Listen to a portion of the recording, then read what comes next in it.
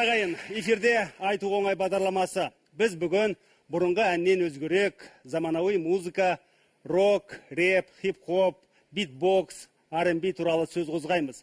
Бұл не деп тұрған шығарсыздар? Өзім де жақсы білмеймін. Бірақ бүгінгі хабарда білетін боламыз.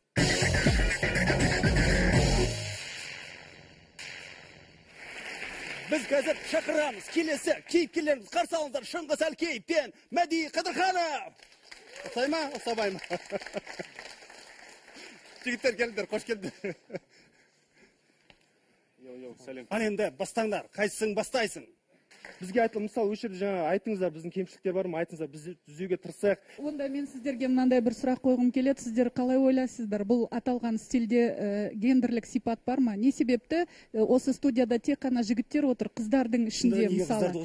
рэп рок айтатын қыздар бар ма? ғой, бірақ қыз, оған не жетіспейді? Не керек деп ойлайсыздар? Жоқ енді қазақтың бойында да бар ғой. Қызға енді қызды а мынаны қараңыз бұларда кәдімгідей ана гендерлік ә, ә, гендерлік қыздар саясатын шектеу бар. психологияда. әне қоспайды бұлар.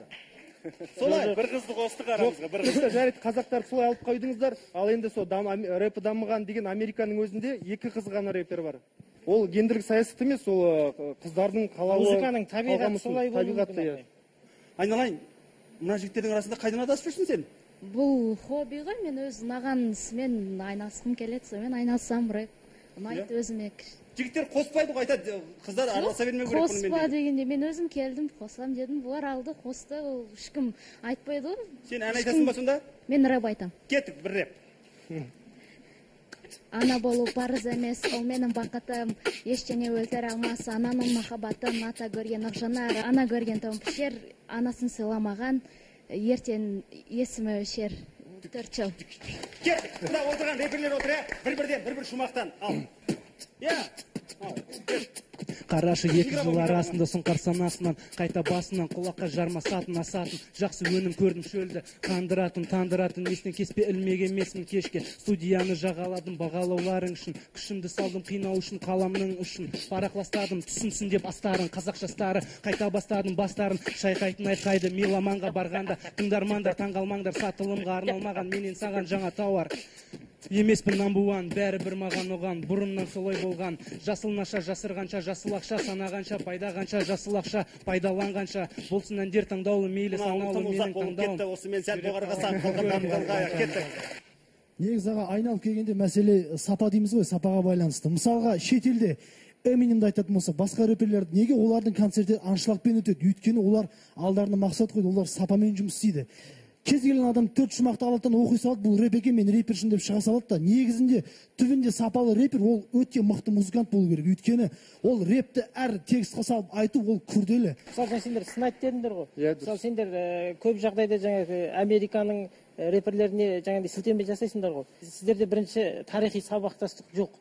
Екінші таза осы ә, сапа туралы айттыңдар иә таза ақындармен жұмыс жасау керек. Ол қазір өнер деген дамып жатыр. Әр Таза ақындар жасамайды ғой, адамға ой Нұрке. салу керек. Мысалы жаңа бақсының сарыны. Сіздер солар туралы бір ілім білім оқысаңыздар соның бір элементтерін жаңағы сіз энергетиканы шығару керек деп жатсыз ғой. Ол басшыларыңыз одан да зор энергетиканы шығарып жүрген. Сол сол жақты білу керек. Сіздерде тарихи сабақтастық болмаған соң осы жерде сіздер дамымай отырсыздар оны ескеру керек жоқ енді жаңағы ақындарға сөз жазғызу керек деп айтады. Енді біз рэпте хип хопта өзінің қалыптасқан түсініктері бар ғой. Нағыз бұзу керек соны бұзу керек. Жаңа мысалы бұзып жатыр онда біз рэпер бола алмай қаламыз ғой. Біз, біз өзіміздің түсініктерді сіздер қазақ рэпер болып қаласыздар онда. Солай басқа бірдеңе қазақ рэпер болуымыз керек қой біз. Қазақ рэпер тіліміз қазақша болу керек. Заманауи сөйлесу керек. Әр адамның өзінің пікірі бар. Мысалы абай атамыздың ә, сегіз аяқ өлеңінде мүлдем басқа ұйқастар. Басқа жерде кездеспейтін ұйқастар. Ә, абайды оқыса жаман болмады реперлер рэперлерге бұған дейін менің былайына айтқанда қалай былай восторгпен ондай қылып тыңдамайтынмын ә, дегенмен ә, бірең сараң көңілім толатын жер болған. Бірақ осы қазір мына жерге келіп мен шынымды айтсам өте қуанып отырмын. Ә, рэперлерді көбінде менде мынандай стереотип болатын иә? Яғни олар ә, бір сөзді айтса келесі сөз басқа бір ой айтылады деген сияқты. Бірақ қазір ә, жігіттердің сөздеріне қарап м, сөйлемнің басы мен аяғы бар өте сауатты құрылған сөйлемдерді айтып отыр деп мен көзім жетіп отыр оған. Сондықтан шынымен де ризамын. Сонымен қатар абайды оқитын мұқағалиды оқитын балалар да олар жаман болады деп ойламаймын. Психологтан сұраймыз. Бір э, азаматтардың пікірі. Жалпы осы жаңа заманауи музыка деп жатырмыз ғой. Осылардың түрлері. Бұл кіші буынның аға буынға деген қарсылығынан туындаған нәрсе дейді. Келісесіз бе? Енді жалпы болған аға буын мен кіші буынның ортасында шек қоюға болмайды. Себебі бұл ы, негізі өнер. Ал өнер болғанда да оның өзінің саласы өзінің мәдениеті өзінің қалпы болу керек. Өздері айтып отырғандай көше рэпі болады және де ы, сыртқа шығып ы, әлемдік деңгейге көтерілуге болады дейді. Әлемдік деңгейге көтерілу үшін олардың өзінде рухани құндылық болу керек. Бұл жерде қысқа айырым болғандықтан жастардың арасында таратылады және тарай береді. Өйткені бұл өнердің жоғарғы туындысы ретінде қал- қарастыру керек. Бұны жат деп қарастырмаймыз. Бірақ оның өзінің ә, мәдени саласын бағыттау керек сияқты. Мынаны айтыңыз. Жалпы рок музыка рэп хип хоп жаңа битбокс.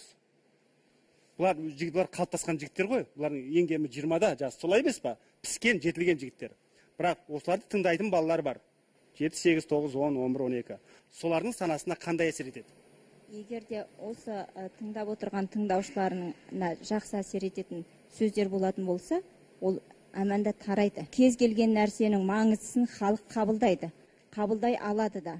Осыған байланысты кішкене болса да ә, сөздердегі анайылықтар ә, төмендесе жақсы болады әдемі сөздер жаңа жалынды ұранды сөздерді ысырып қойсақ рэп ол да музыка. А музыка деген тауар. Енді тауар болғандықтан бәріміз нарық заң, ә, заңдарына бағынамыз. Сондықтан да біз тез өтетін тез не істейтін ә, тауарды шығарамыз. Енді оны мойындау керек. Бізге ә, жеңіл әндер бізде бар. Оны мойындау керек. Ә, мағыналы әндер де бар. Бірақ жеңіл әндер тезірек көбірек өтеді. Аудиториясы көбірек. Сондықтан бізде да сондай әндерді көбірек шығаруға тырысамыз өйткені енді тауар өту керек.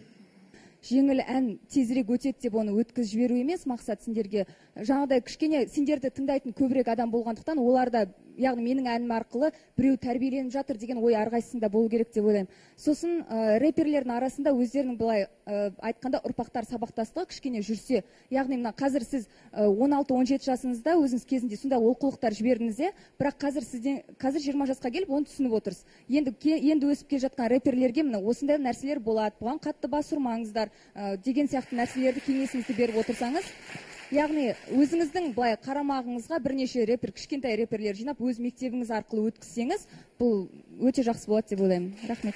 Рок пен ә, рэптің дәл қазіргі мына рок пен рэптің ә, маған ұнайтын бір жері мысалға мынау ә, эстраданың әншілері дейміз ғой попса дейміз иә. тоқсан тоғыз пайызы тек қана махаббат туралы өлең айтады. Негізінен махаббат туралы. Махаббат күйдім сүйдім күйдім сүйдім күйдім сүйдім. ал енді ә, мынау рок дәурен орындайтын рок болсын рэп болсын мынау ә, ұйқастары келмейтін шығар сөздері кей жағдайда. Енді рокта ұйқас келеді ғой рокта бәрібір. Мен өзім рок тыңдаймын да негізінен.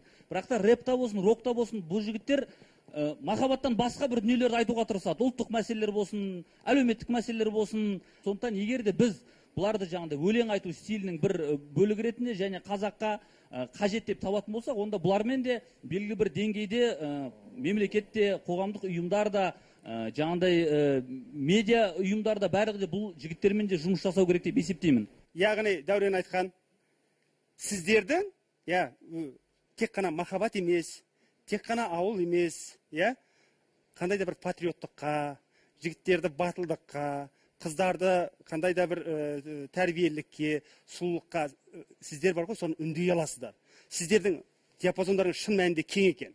Бұны егер де сіздер тиімді пайдалансаңыздар егер де білімдеріңізді жетілдірсеңіздер жаңа айтқандай сіздерді шын мәнінде үлкендер де тыңдайтын болады рокта рэпте бұлар мынау қазақтың елу пайызы қалаға келіп болды яғни біз қазір қаланың ішіндегі ә, аулалардағы дворлардағы мәдениетті жасау керекпіз ал сол мәдениетті бүгін жасап жатқан осы жігіттер сондықтан енді бір 20 жылдан кейін жалпы мына жастардың барлығы ә, осы жігіттерді тыңдайтынында менің ешқандай күмәнім жоқ. Бірақ та бұл жігіттер сол 20 жылдан кейін барып жастарға өнегелі сапалы дүние алып келу үшін қазірден бастап бұлармен біздер жұмыс жасау керекпіз айналысу керекпіз сапасына мән беру керекпіз қаржыландыруына мән беру керекпіз және концерттер мәселесіне мән беру керекпіз содан кейін бұлардың ішінде саралау керекпіз. Осы жұмыстар қазір жүргізілу қажет деп есептеймін. Рахмет. Эстрадамыз не істейді? Олар ә, бір, бір залға жиырма орындаушы келеді. Әрқайсысының бір мынандай бір мини дискісі бар. Соны тығады да ә, сахнаға шығып былай микрофонды алады да аузын ашып ашып ә, жұртты алдап сосын кетіп қалады. Солай ғой. Ә, рэпте ондай мүмкін ба жоқ па? Ол рэпердің сол профессионализміне байланысты ол айта ала ма айта алмай ма? Бірақ негізі рэптің э, құндылықтарының бірі. Енді рэп рэпер өзі э, жанды дауыспен айту керек. Фонограммасы айту керек. иә бірақ қазір заман өте келе рэптің несі де өзгеріп бара жатыр натурасы да былай қарасаң енді көбейіп бара жатыр бірақ фонограммамен айтатындар көбейіп бара жатыр. Көбейіп келе жатыр. иә. Фонограмма рэп деп жатсыздар да? Тональность не екенін білесіздер ғой жігіттер дұрыс па? Тональность деген болады әнде дұрыс па? Мысалға рэпті жай ғана сен оқисың дұрыс па? Қатты дауыспен оқисың. Бұл жерде сен оқыған кезде біз мысалға ән айтсақ бірінші мақсат бұл жерде бізде ең кемшілік біздің эстрадада ә, өздеріңіз айтасыздар «Ей, жаңағы тірі дауыспен айтпайды фонограмма келсем оған бәрі бірақ бізге сондай мүмкіншілік беріп қойыңыздаршы.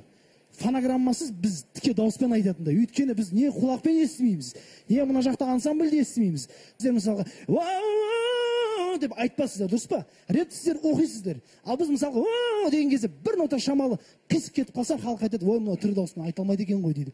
Сондықтан жаңағыдай мүмкіншілік болса біз әрине міндетпіз тірі дауыспен ән айтуға. А рэп қолымыздан келе ол мысалға сахнаға шығып халық саған ритм ұстап отырса сен жаңағы битбокс болсын басқасы болсын сен айтып бере аласың. Микрофоның қай дәрежеде сенікі мықты болсын мықты болмасын сен өзің айтып жатқан сөзін халық ести алады. Мысалы эминем снуп дог иә оларды бүткіл әлем тыңдайды. Олар жастары елу қырықтан асқан. Оларды бірақ бүткіл әлем тыңдайды. Жоқ енді ақша ақша табудың құралына айналып кетті. Кейін келе келе ат пайда болды бренд пайда болды ақшаға ке- кетіп қалды да кәсіпке айналып кетті. Мен өзім жалпы он жылда болып қалды рэптің айтып жатқанда он жыл болды. Егер менге тек қызығушылық кейін қойып кететін нәрсе болса мен төрт жыл қызығушылық төрт жыл бес жылға қойып кететін едім. Бұл жай қызығушылық емес. Бұл өзің жаныңның сұрап тұрған нәрсесі сен рэп тыңдадың ба саған ұнады ма ритм? Демек сен оны ары қарай тыңдай бересің. Біз қаншама бұны тәрбиенің құралы емес десек те бұл тәрбие құралы. Жаңағы айтылған мысал ауылдағы балалардың. Сондықтан ә, отырған осы өнер ағысына келген осы өнерге келген жастар үлкен жауапкершілікті сезіну керек. Біріншіден жаңағыдай менің дауысым жете ме жетпей ме? Дауысым бар бірақ бұл керемет дауыс па? Екіншіден музыка қандай ол? Ана композитор қандай нәрселер шығарды немесе сол жерде суырып салып айтудың оның да өзінің жауапкершілігі бар. Соны түйіндей келгенде менің ойымша ересек адам ретінде мына балалар мен қыздарыма айтарым ә, жауапкершіліктен қашпау керек. Бұл өнер жарысы. Бұл болашақтың жарысы деп ойлаймын. Дәуренжан. Аға қазақ ұлттық консерватория кімнің атында аға? Құрманғазы. Құрманғазының атында. Сіз құрманғазының күйлерін тыңдағансыз? Иә. Әрине тыңдағансыз. Құрманғазының күйлері тұнып тұрған рок. Тұнып тұрған рок. Құрманғазы бабамыз батыс өңірінің жігіті. Төкпе күйдің бабасы. Лирика махаббат дегеніміз шертпе күй ал төкпе күй дегеніміз нағыз рок. Сол рок күйді қыдырәлі ағамыз ұлытау а, атты ә, топ жинап рок битбоксер дедіңіз ә, хип хоптың отанына америка голливудқа барып тұрып бас жүлдені ұтып алды содан артық не керек? Қандай рок керек сізге? Ең соңында айтар кетер болсақ бұл жерде ше біз әрқашан бөліне береміз. Сен рэперсің сен эстрадасың анаусың мынаусың деп. Жалпы менің өзім білгенім бүкіл ұйымдастырушылармен жиналып бір ассоциация дейміз ба басқа дейміз роктың бір бөлек эстрада бір бөлек. Мынандай концерт болған кезде ай мынау рэпер екен бұны қоспай ақ қояйық деген болмау керек те бәрімізге бір қарау керек. Рэперден екі ән ба концертте екі әнші керек рэперші. Мына жақта жаңағы битбокс тыңдайтын ба о ана жерде сахнада әжеміз отыр екен ол тыңдай тыңдамайды ғой демеу керек. Арасында жастар да болады. Сол битбокс оқитыннан да сол халық ән айтып жатқан концерттің арасында сол битбокс екеуін қоса салу керек. Осы тек қана осы жерде ғана қалып қоймай бұл жастардың бәріне мемлекеттік ә, деңгейде қолдау керек. Және балаларға жігіттерге айтарым бұл өнермен айналысу айтуға ғана оңай. Терең білімді болу керек өте жоғары ә, кәсіптік музыкант болу керек. Міне сонда ғана өнерді жоғары шығара аласыңдар. Сонымен қалайық қаламайық рок рэп хип хоп битбокс rnb бізге келді өмірімізге дендеп енді. Енді оларды шығара алмаймыз. Оның қажеті де шамалы. Бүгінгі хабардан түйетін ой керісінше осы өнерпаз жастарды қолдап оларды дұрыс бағыттап бұлардың өнерлерін елдің игілігіне жарата алсақ жарар еді. Бұл айту оңай ток шоуы аман сау болыңыздар.